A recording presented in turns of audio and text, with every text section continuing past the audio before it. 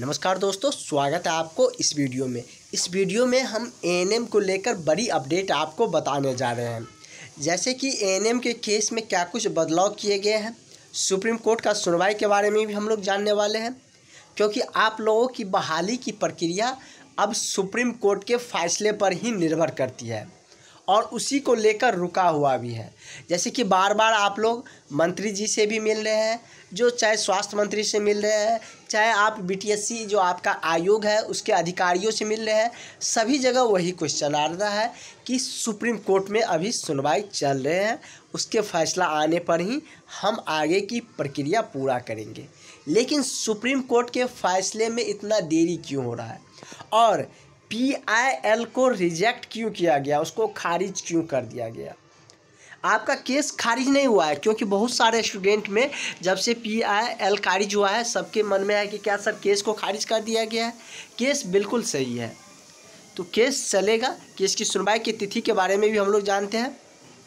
P I L वो मतलब कि खारिज हो ही जाता क्योंकि वो किसी पार्टिकुलर स्टेट को लेकर था और किसी पार्टिकुलर स्टेट पर वो मान्य अक्सर नहीं होते हैं। तो इसलिए उसको खारिज किया गया। आप लोगों का केस एक्टिव है।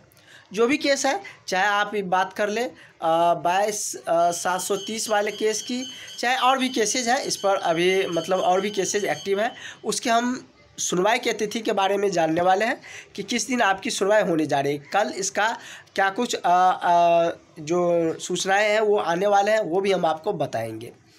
और आपको जैसे कि बहाली प्रक्रिया में और कितना समय लग सकते हैं सुप्रीम कोर्ट के फैसला आने पर उस पर भी चर्चा करेंगे। तो पहले हम लोग डेट के बारे में जान लेते हैं कि आप लोगों की सुनवाई की तिथि कल क्या कुछ आने वाले हैं या आपकी सुनवाई कब होने जा रही है। ठीक है, उसके बाद हम लोग आगे के प्रोसेस पे भी बात करेंगे और पी आई एल के बारे में भी डिटेल्स में चर्चा करेंगे। ये हम लोग आ चुके हैं। आप, जो आपका सुप्रीम कोर्ट की वेबसाइट है और वहाँ से आपके जो केस के क्या कुछ अभी एक्टिवेशन है, उसके बारे में हम लोग चर्चा कर लेते हैं, ठीक है? तो आप लोगों के केस का वैसे जो फ़र्स्ट हेयरिंग है, उसको ज़्यादा समय हो गया। जैसे कि आप सबको पता है कि एक सप्ताह का ही समय मांगा गया था तो एक सप्ताह कोर्ट ने दिए थे। लेकिन जो कोर्ट होते हैं, उसमें बहुत मुश्किल से टाइम मिलता है हेयरिंग का। उसमें भी सुप्रीम कोर्ट का। सुप्रीम कोर्ट में बहुत मुश्किल से टाइम मिलता है एक हेयरिंग का, और उसमें समय तो वैसे माँगता ही, क्योंकि जो आपका, जिस पर आपने केस फ़ाइल किया है उसको भी तो समय चाहिए। तो तब तक आपका एसएलपी का सुनवाई हो रहे हैं। केस के डेट की हम बात करें तो अभी मेंशन नहीं किया गया, लेकिन इस सप्ताह में आपको केस का जो हेयरिंग का डेट है, वो देखने को मिल जाएँगे। क्योंकि एस की सुनवाई हो रही थी, इस कारण से केस का जो नया डेट था, वो नहीं मिल रहा था। तो इसमें थोड़ा सा समय लगेगा, लेकिन आप लोगों का गोल्डन ऑफ़र जो है, नई जो बहाली है, उसका मिस हो रहा है। उसमें से आपका पंद्रह से बीस दिन लेस हो गया, जो कि आपकी क्लासेस चल रही है। इसलिए हम आपको बार बार कहते हैं कि आपको B T S C N में जो कुछ भी होंगे, वो सारी जानकारियाँ हम आपको देते रहेंगे। साथ ही आप पढ़ाई पर भी ध्यान दे दीजिए।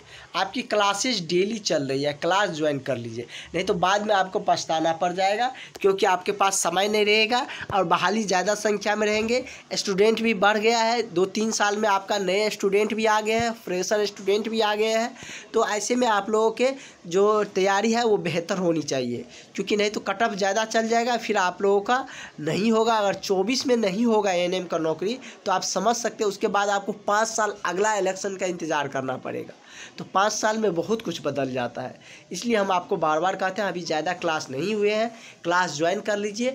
आपको सारी जो जानकारियाँ है बी टी एस का भी मिलता रहेगा। क्लास भी आपको मिलेंगे, नोट्स भी मिलेगा। साथ ही आपको टेस्ट सीरीज़, सार, जो भी आपकी तैयारी में बेहतर हो सके, सारा प्रयास किया जाएगा हम लोगों के द्वारा। तो इसलिए आप लोग ज़रूर क्लास ज्वाइन कर लीजिए।